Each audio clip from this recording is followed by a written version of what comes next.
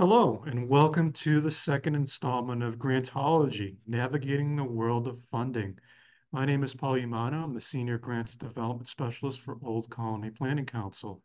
Uh, today we have a full deck of uh, grant opportunities to present to you all, uh, both federal and state, as well as recapping uh, a few things from the, the last webinar. Uh, we really appreciate your time and uh, Looking forward to continuing to work with you all on this great endeavor. So again, the purpose of Grantology is really to assist you all um, in identifying opportunities, which I have done in my own personal research, and then getting that information out to you all, and then educating you all through these series of webinars on the different opportunities and some of the nuances that go along with with these particular grants, whether it's at the state or the federal level.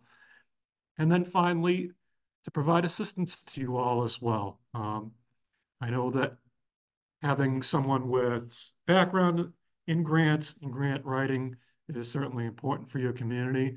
And that's why I'm here. I'm here to help you all and offer any assistance that I can and whatever that, that particular mean may be. All the information you're about to hear in this webinar can be found on the dedicated Grantology website. Uh, we have bi-weekly newsletters that go out to you all. Uh, if you haven't subscribed already, please do. We certainly really appreciate that. Um, and any additional attachments or addendums to uh, what I'm about to go into today will also be found on the Grantology website. So with that in mind, we'll uh, begin today's session. So I just wanted to give you all a brief overview of um, sort of the grant timeline and how that works. So grants are typically done on a, a schedule, and usually it's done during the seasons. So grants that are open right now in the springtime are usually due in the summer. Grants that open up in the summer are usually due in the fall. And then fall grants that open up in the winter excuse me, fall grants that are that are open in the fall are usually due in the winter. So uh, grants are on a seasonal cycle. Uh, I just wanted to share that just in case um, you folks are curious about that. So uh, the first set of business I wanted to get into today was um, just to, again, thank our panelists that attended the electric vehicle plant panel discussion back on May 6th. So uh, for those of you that didn't get a chance to watch it, uh, feel free to click the QR code here contained in the slide.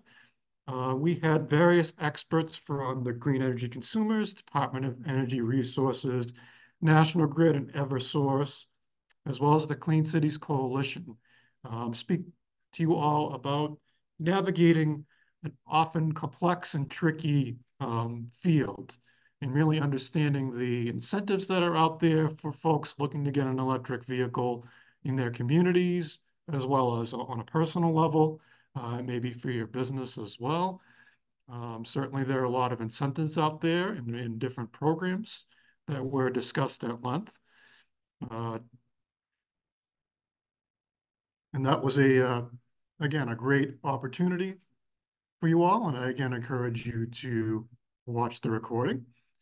Um, to add a little bit to that in, in this webinar, uh, there are several state and federal grant programs that communities and other entities can take advantage of um, through both the federal government and the state government. One in particular is the Accelerating Clean Transportation Act School Bus Fleet Deployment Program. I know it's a mouthful.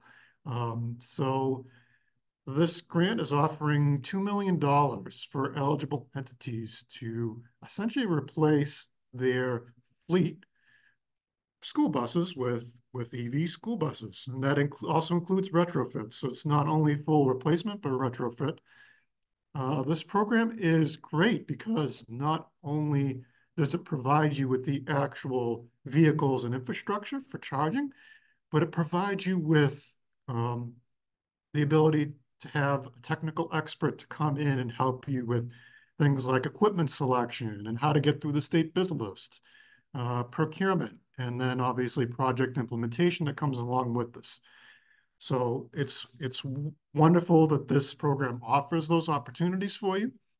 Um, this program offers up to, again, $2 million uh, with a deadline of June 24th of 2024, uh, coming up very quickly. Um, so eligibility comes in multiple different forms. So you can apply as a Massachusetts public school district on your own, or if you partner with a private company as a school district, so the public-private partnership, you're eligible for this program. Or if you have a, or if you're a private company and you're looking to partner with a public entity, you are also eligible for this program. So a minimum of um, electrification required for this program are three uh, battery electric vehicle school buses. So if you're looking to, you can either change out your entire fleet or you can do a minimum of three. And again, that comes with the associated charging infrastructure as well. Um, this particular program does prioritize certain communities that are on the EPA's priority list. Uh, unfortunately, none of the communities in our region are on this list. However, that should not deter you from applying for this grant as um, it's still highly competitive and, and advantageous um, even for folks that are not on this list. So a federal program now um, is the Clean Heavy Duty Vehicles Grant. So this is a fairly new program through the Inflation Reduction Act.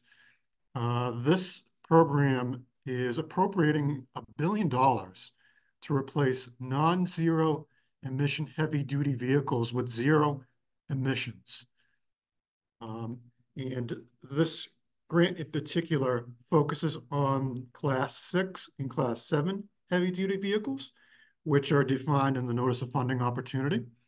Um, within this program, it offers not only the opportunity to replace your fleet, but there are workforce development and training, as well as implementation costs that are associated with this program.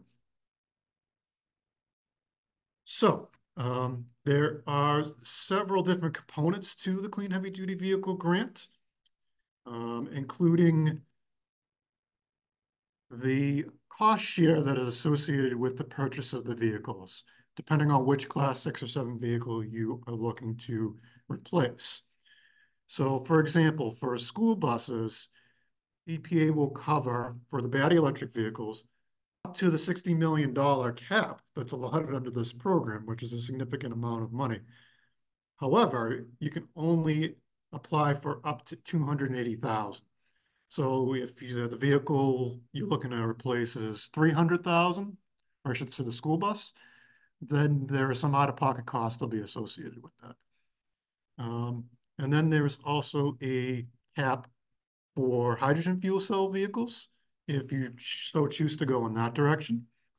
Um, so the list here, we have straight box trucks, step vans, septic or bucket trucks um, for DPWs, um, any other vocational vehicle. Uh, for your refuse department, you can replace your refuse hauler, street sweeper, or even if you're a transit agency, you can replace your transit bus under this program. But again, keeping in mind that there are caps on the amount that you can spend per vehicle. So um, within the notice funding opportunity, just keep that in mind. Uh, something else to keep in mind as well with this program is um, there are very specific requirements in terms of the age of the vehicles, um, as well as what you have to do to remove the vehicles out of your fleet. So the EPA has a very specific scrapping process for your vehicle. Um, and I encourage you to read the Notice of Funding Opportunity, which goes into detail as to how to do that and best practices for that. So this is a, again, another wonderful program that's available to you all as it relates to clean and green infrastructure and as well as electric vehicles. Um, I do want to mention another few programs that are available for you all.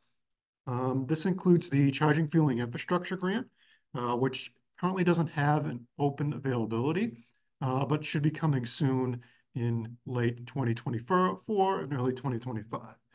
So the Charging Fueling Infrastructure Grant is a federal program that's available for two different things, either corridor charging, which is in relation to the alternative fuel vehicle corridors, or excuse me, the alternative fuel corridors that are available, um, which is basically your major highways and interstates, right? So Route 24, I-495, et cetera. So um, the federal government is focused on sort of making sure that for every 50 miles that is traveled within the state of Massachusetts, that individuals have access to an electric vehicle charging station.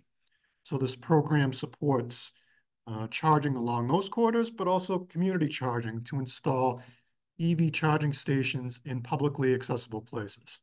So this program will allow municipalities to be able to do that, as well as nonprofit agencies. Um, it's a wonderful program. Uh, last year, they were offering up to $15 million in funding with a 20% match. So something to keep in mind if, if folks are interested in applying for charging fueling infrastructure grant. Another opportunity that folks can take advantage of is through the National Electric Vehicle Infrastructure Program, or known as NEVI. So uh, the federal government uh, put this out to states in particular to apply for to develop deployment plans related to these alternative fuel corridors. So for Massachusetts, they developed a plan, and I encourage you all to go onto their website, and we'll provide a link to that plan in the grantology page to take a look at uh, what Massachusetts is doing for alternative fuel corridors and the plans that they have for that. Um, through this program, there was a 10% set aside for municipalities. And uh, again, most recent news has indicated that on, uh, excuse me, that in the month of June, there'll be uh, a notice of funding opportunity released for municipalities to take advantage of their own um, electric vehicle needs. So um, based on the current federal standards and the Massachusetts plan, um, it is indicated that this will be a one mile corridor radius around uh, the major intersections and corridors. So for our region, that would be Route 24 um, and, and, some of the surrounding interstates. So uh, please stay tuned to that, and I'll let you all know as soon as uh, I hear more on uh, plans for deploying that um, that notice. And then um, there are also several Inflation Reduction Act credits. I know that in the EV webinar that was discussed a bit, but just wanted to folks let folks know that there are um, what are called elective pay or direct pay credits that are available. Uh, this is called the 30C process. So essentially there are um, certain elective credits that municipalities, uh, businesses, nonprofits can take advantage of related to EV projects or clean energy projects that they're working on. Uh, this is all done through the IRS, and there's a direct credit elective form that gets filled out. So we'll uh, we'll provide more links to that, um, and there'll be more information as it becomes available on how to access that. But just wanted to make you folks aware that that is out there if you're interested in um, an electric vehicle future and electric vehicle infrastructure. So those are some of the um, the EV programs that are available currently. Uh, just going back really quick to the Clean Heavy Duty Vehicle Program. Uh, again, the award range is up to $60 million, uh, but the award minimum is 500,000 and applications for this program are due on July 25th. So again, encourage you all to apply for that. All right, so another federal program that is available and actually has been out for a few cycles now is the Strengthening Mobility and Revolutionizing Technology, or affectionately known as the SMART Grant Program. So this is done in two stages. So we are at the stage one planning phase. This is actually the third cycle of the stage one planning phase for folks. Uh, for those that have already received a stage one planning grant, um, the city of Brockton in particular, uh, would be eligible to apply for a stage two, which is taking your prototype uh, in the stage one and doing implementation of that in stage two. So for folks just applying for stage one, this is really a prototype slash pilot program to carry out specific transportation projects related to connected and smart technologies. So there is a wide range of eligibility when it comes to the SMART program. And this involves coordinated automation as it relates to EV and autonomous vehicles, um, intelligent-based sensors to be able to collect real-time traffic data on the ground. Uh, there is systems integration that is associated with that. So the uh, GPS data that is located on the, the traffic signals um, is eligible for this as well. Uh, logistics and freight is also another big component and another way to communicate um, with what's going out, what's going on on the ground. Um, smart grid technologies is also um, eligible under this program. And again, um, for folks interested in replacing outdated traffic technology with something that is going to provide um, meaningful data and something that can be scalable and replicable for other communities. Um, I certainly encourage you to apply for this program. It is a one to two year pilot, and folks that apply for this at stage one or again would be eligible for a stage two implementation. Uh, there is no match associated with this. Um, the award for stage one is up to $2 million. The max for stage two hasn't been set yet, but that will be coming shortly. Uh, and applications are going to be due on July 12th uh, by 5 o'clock. So really encourage you to apply for this as well. It's a wonderful opportunity and is a great bipartisan infrastructure law federal grant. All right. Again, uh, today's webinar can be found on the Grantology website. Um, and any additional information that I've talked about, as well as links and uh, other supporting documentation will be found here.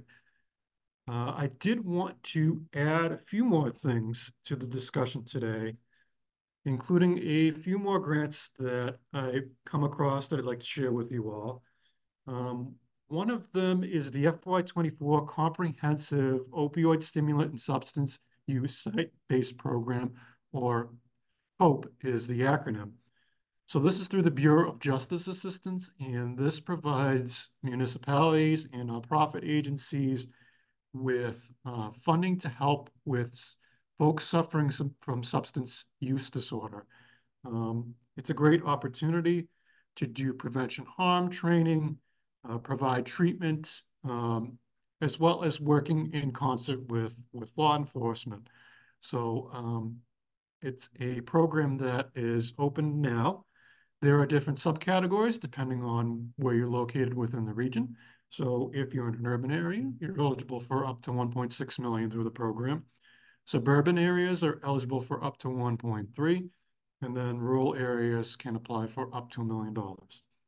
There is no match required under this program, which is great.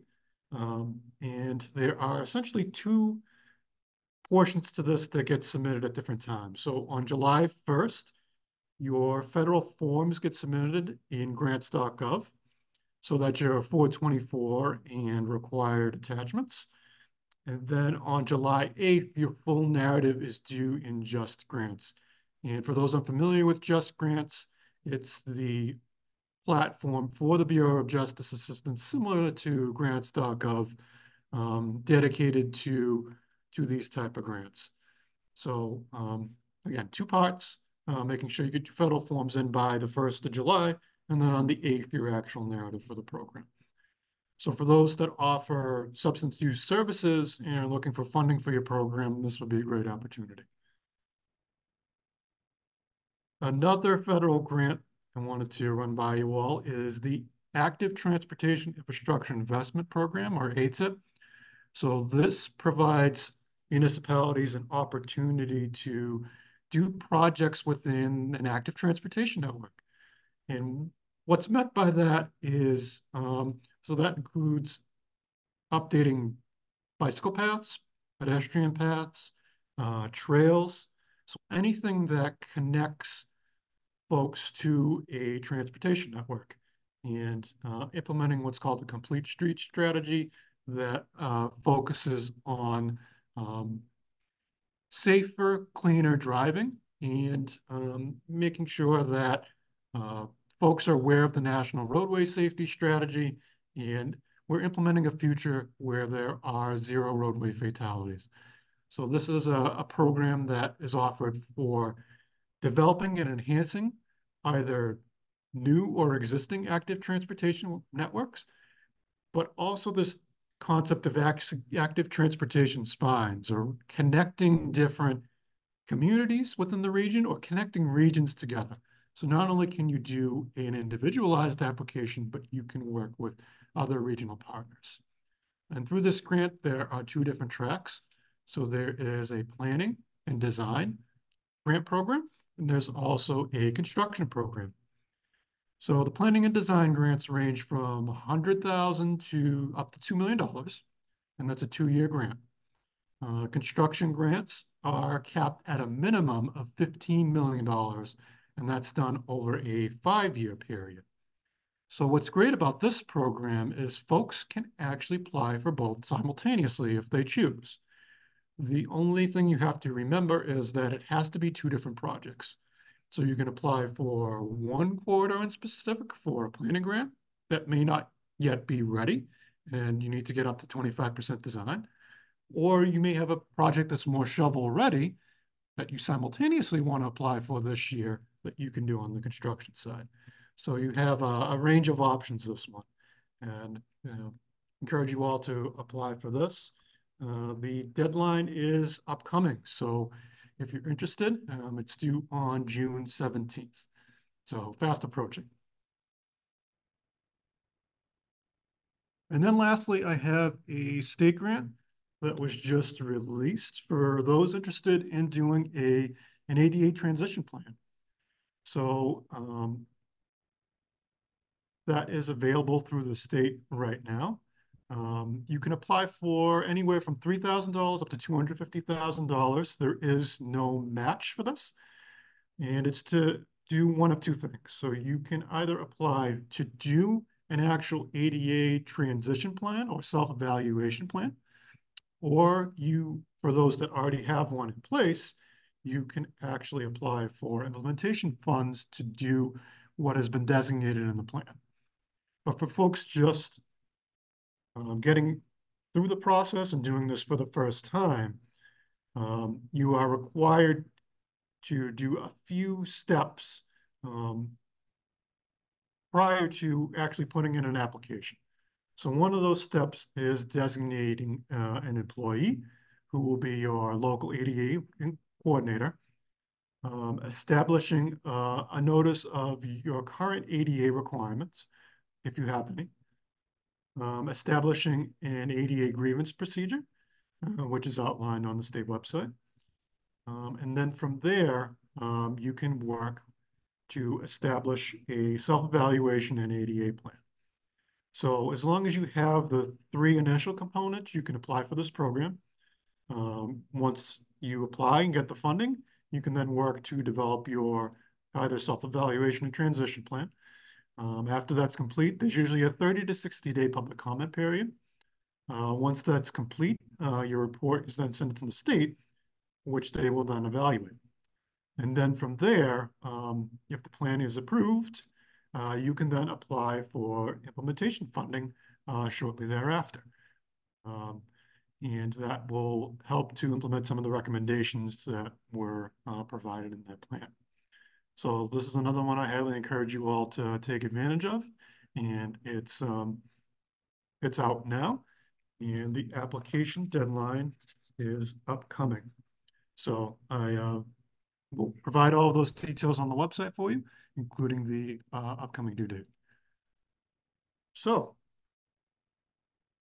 that concludes this second session of Grantology. Uh, I really appreciate your time and, and listening. Uh, to get in touch with me, my email address is here on the screen, and my cell phone number is available as well. Please don't hesitate to reach out to me. I'm here to help you all in any way that I can, and uh, definitely looking forward to continuing this series and uh, getting into more of the weeds on some of um, the topics that uh, are covered within uh, different grant opportunities uh, related to procurement, um, as well as several others. So um, this is just going to be the first of many.